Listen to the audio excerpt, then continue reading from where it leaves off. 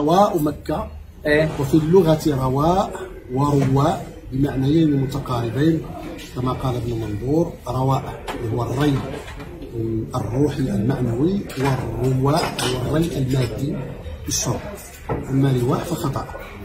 والكتاب آه، عبارة عن تجربة للأستاذ حسن الريد آه، شرح فيها بكل صراحة وموجهة للذات أنه ذهب إلى الحج. وهو لا ينوي أن يحج إنما كان هناك سياق شخصي دفعه لذلك. وكان يعيش حالة من الاضطراب الفكري ومن الحيرة ومن التيه السلوكي.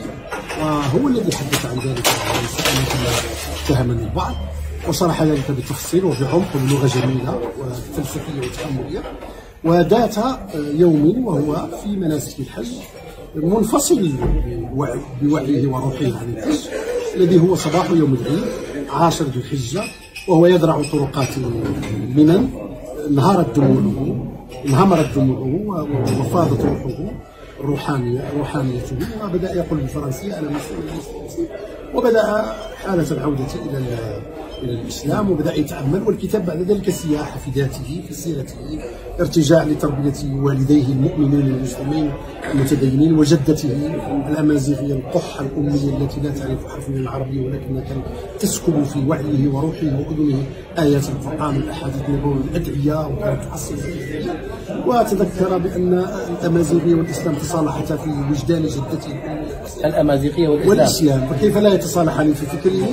وأعاد النظر في في في موقف من الإسلام والموقف من العبادات والموقف من الغيب والروحانيات ثم قام بسياحة مقارنة مع ليوبولد فايس مع إيزابيل إبرهارت مع عدد من الفلاسفة والمفكرين والأوروبيين الذين أسلموا وجاء برؤى وآراء وتأملات ومقارنات في الكتاب سياحة فكرية نفسية فلسفية روحية في عالم العودة إلى الإيمان والاستقامة والتدين والمعنى حضور المعنى من جديد في الحياة.